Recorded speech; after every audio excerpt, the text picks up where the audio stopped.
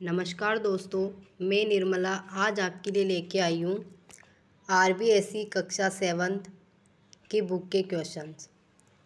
इससे पहले मैंने भाग वन भूगोल का अपलोड किया है, ये आज भाग दो है। तो चलिए देखते हैं बिना टाइम वेस्ट किए कि क्या क्वेश्चन है। इन्हें सॉल्व करिए और कमेंट सेक्शन में ज़रूर बताइए। आज का पहला क्वेश्चन है निम्नलिखित में से जो बात सत्य है, वह है।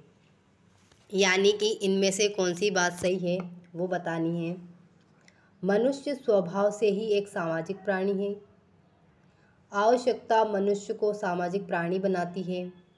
समाज व्यक्तित्व का विकास करता है, या उपयुक्त तीनों ही। तो ये तीनों ही बात सही है। मनुष्य स्वभाव से ही क्या होता है, एक सामाजिक प्राणी होता है, बिल्कुल सही है। आवश्यकता मनुष्य को सामाजिक प्राणी बनाती है, ये भी सही है। समाज व्यक्तित्व का विकास करता है, ये भी सही। यानी इसका आंसर क्या हो जाएगा? द, उपयुक्त तीनों। अगला देखिए।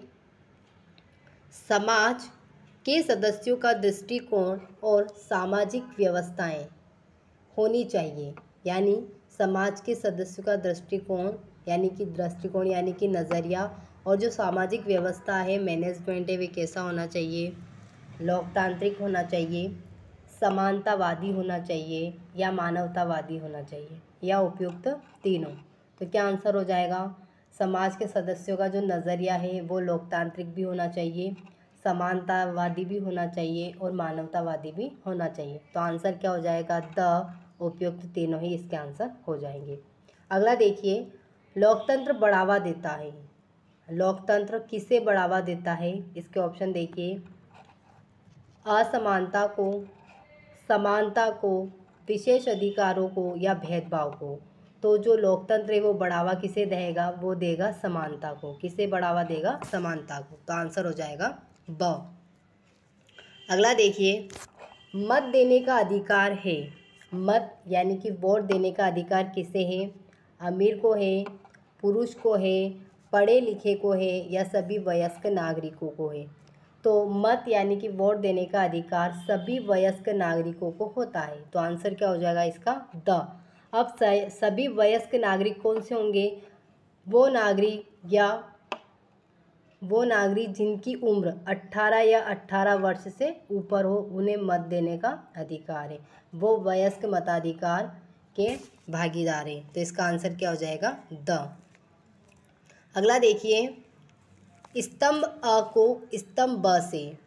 क्या करना है? सुमेलित करना है। स्तंभ अ में नंबर वन है, अपने प्रतिनिधि चुने जाने का अधिकार। नंबर दो, व्यवसाय व उपभोग की स्वतंत्रता। नंबर तीन, व्यक्ति की प्रतिष्ठा और अवसर की समानता। तो अपने प्रतिनिधि चुने जाने का अधिकार किसके पास होता है? वो होता है राजनीतिक क्या होता है? राजनीतिक लोकतंत्र तो इसका हो जाएगा स। क्या हो जाएगा? राजनीतिक लोकतंत्र तो इसका क्या हो जाएगा? स। स यानी कि राजनीतिक लोकतंत्र। व्यवसाय व उपभोग की स्वतंत्रता किसमें होती है? तो वो होती है आर्थिक लोकतंत्र में। इसका हो जाएगा अ। और व्यक्ति की प्रतिष्ठा और अवसर की समानता किसमें होती है? तो वो होती है सामाजिक लोकतंत्र में। तो आंसर क्या हो जाएगा? सामाजिक लोकतंत्र। यानी एक का स, दो का अ और तीन का ब। इसका आंसर हो जाएगा। अगला क्वेश्चन देखिए। क्वेश्चन नंबर सिक्स बालक का पहला शिक्षक होता है। परिवार, विद्यालय, माता या मित्र। क्वेश्चन क्या है? बालक का पहला शिक्षक होता है, कौन होता है? तो सभी को पता है कौन होता है? माता। अब क्वेश्चन ये भी बनता है कि बालक की जो प्रथम पाठशाला होती है, वो क्या होती है? तो जो बालक की प्रथम पाठशाला होती है, वो होती है परिवार। ओके तो इसका आंसर क्या था? स। माता। अगला देखिए। मीराबाई प्रसिद्ध है। मीराबाई क्यों प्रसिद्ध है? मीराबाई प्रसिद्ध है राजनीति के लिए, शासन के लिए, ईश्वर भक्ति के लिए या इनमें से कोई नहीं?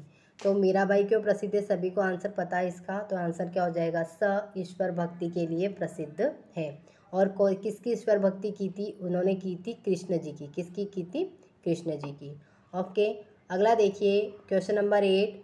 क्षेत्रफल की दृष्टि से राजस्थान का देश में स्थान है। यानी क्षेत्रफल की दृष्टि से राजस्थान का देश में कौन सा स्थान है पहला, दूसरा, छठा या दसवां? तो कौन सा स्थान है? तो वो हो जाएगा पहला। दूसरा किसका है? तो वो हो जाएगा दूसरा एमपी का, यानी पहला किसका है? राजस्थान का। ओके, अगला देखिए। 2011 की जनगणना के अनुसार जो राजस्थान की साक्षरता है वह कितनी है? साठ पॉइंट एक प्रतिशत बासठ पॉइंट एक प्रतिशत, चौंसठ पॉइंट एक प्रतिशत या छियासठ पॉइंट एक प्रतिशत। तो 2011 की जनगणना के अनुसार राजस्थान की जो साक्षरता है, वो है छियासठ पॉइंट एक प्रतिशत। आंसर क्या हो जाएगा? द छियासठ पॉइंट एक प्रतिशत। अब ये टोटल है। क्या है? टोटल है। अगर आप, आपसे इसमें महिला की पूछ ले या पुरुष की पूछ ले तो पुरुष की याद रखना, पुरुष की टोटल कितनी थी? पुरुष की थी seventy nine point two zero percent कितनी है? Seventy nine point two zero percent और महिला की कितनी हो जाएगी? तो वो हो जाएगी fifty two point one zero percent okay? अगला देखिए। क्वेश्चन नंबर दस। राजस्थान में निशुल्क एवं अनिवार्य शिक्षा का अधिकार अधिनियम 2009 लागू किया गया। एक अप्रैल 2009 को, एक अप्रैल 2010 को, एक अप्रैल 2011 को या एक अप्रैल 2012 को। तो जो निशुल्क और अनिवार्य शिक्षा का अधिकार अधिनियम यानी एक्ट तो था 2009 लेकिन लागू कब किया गया? तो वो किया गया था एक अप्रैल 2010 को। तो इसका आंसर क्या हो जाएगा? ब एक अप्रैल 2010 अगला देखिए क्वेश्चन नंबर इलेवन राजस्थान में मेट्रो रेल शुरू हुई है। मेट्रो रेल शुरू कहाँ हुई है, वो पूछना चाहता है। जोधपुर में, जयपुर में, उदयपुर में, कोटा में। तो जो मेट्रो रेल की शुरुआत हुई है, सबसे पहले जयपुर में हुई है। और अभी क्वेश्चन बनता है कि हुई है तो कब हुई है? तो ये हुई है तीन जून 2015 को। कब हुई है? तीन जून 2015 को। ओके तो इसका आंसर क्या था? ब, जयपुर। अगला देखिए, राज्य की सरकार का संवैधानिक मुखिया होता है। मुख्यमंत्री, प्रधानमंत्री, राष्ट्रपति, राज्यपाल। इसने क्या पूछा है? संवैधानिक मुखिया होता है। तो कौन होगा? तो वो होगा द राज्यपाल। यानी राज्य का या राज्य की सरकार का जो संवैधानिक मुखिया होता है, राज्यपाल होता है तो जो भारत की सरकार यानी केंद्र सरकार का संवैधानिक मुखिया कौन होगा? तो वो हो जाएगा राष्ट्रपति। कौन हो जाएगा? राष्ट्रपति। तो इसका आंसर क्या है? इसका आंसर हो जाएगा राज्यपाल। ओके, अगला देखिए। राजस्थान विधानसभा की सदस्य संख्या है 250 200 सॉरी 250 545 200 या छियासठ। तो कितनी है? विधानसभा की सीटें तो वो है 200 कितनी है? 200 अब आप मुझे कमेंट सेक्शन में ये बताना कि राजस्थान विधानसभा की सदस्य संख्या 200 है तो जो लोकसभा और राज्यसभा है, इनकी कितनी सीटें हैं? ओके? ये आंसर आपको कमेंट सेक्शन में बताना है। अगला देखिए, राज्य के मतदाता मतदान करते हैं। राज्य के मतदाता जो है, मतदान करते हैं। स्थानीय निकाय के चुनाव में, राज्य विधानसभा के चुनाव में, देश की लोकसभा के चुनाव में या उपयुक्त तीनों में। तो जो राज्य के मतदाता होते हैं, जो स्टेट के, जो क्या है, वयस्क नागरिक होते हैं, वो वोट किसे कर सकते हैं, ये क्वेश्चन कर रहा है। तो जो स्थानीय निकाय के चुनाव होते हैं, उनमें भी वो वोट करते हैं। राज्य विधानसभा के चुनाव में भी वोट करते हैं। देश की लोकसभा के चुनाव में भी वोट करते हैं। तो आंसर क्या हो जाएगा? द उपयुक्त दिनों में ही ये वोट करते हैं। ओके, अगला देखिए, क्वेश्चन नंबर फिफ्टीन। लोक कल्याणकारी योजनाएँ निम्नलिखित में से किससे संबंधित होती हैं? लोक कल्याणकारी योजनाएँ किससे संबंधित होती हैं?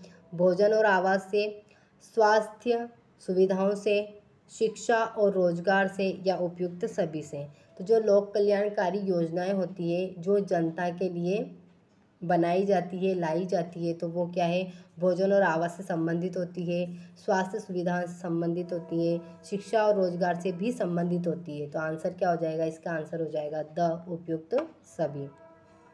अगला देखिए, लोक कल्याणकारी योजनाएँ सॉरी लोक कल्याणकारी सरकार की कर्तव्यों में सम्मिलित है। ऊपर क्या क्वेश्चन था कि लोक कल्याणकारी योजनाएँ कौन कौन सी हो सकती है, किस रूप में लाते हैं? अब ये क्वेश्चन है, लोक कल्याणकारी सरकार के कर्तव्य में सम्मिलित है। जो कौन कौन से कर्तव्य हैं?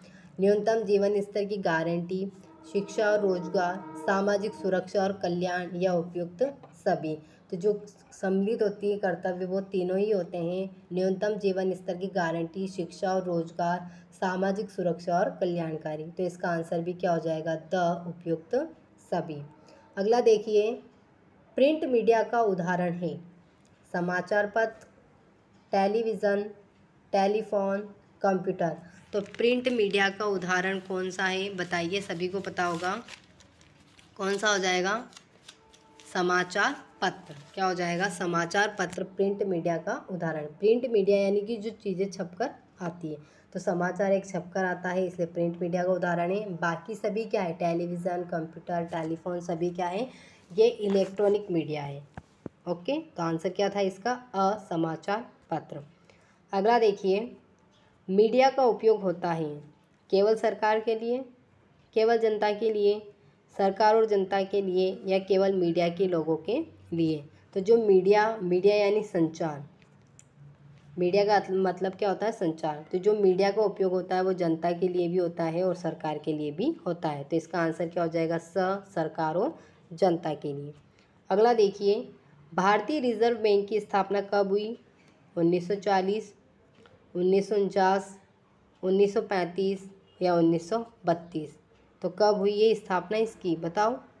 भारतीय रिज़र्व बैंक, आरबीआई की स्थापना हुई है 1935 कब हुई है? 1935 अगला देखिए और लास्ट है। भारतीय रिज़र्व बैंक के वर्तमान गवर्नर हैं दीपक मिश्रा शक्तिकांत दास, उर्जित पटेल या रघुराम राजन। तो वर्तमान गवर्नर की बात हो रही है तो अभी कौन है? तो वो है शक्तिकांत दास। अब आप ये बताना कि कौन से नंबर के हैं? ओके, ये कौन से नंबर के हैं? आपको एक कमेंट में बताना है।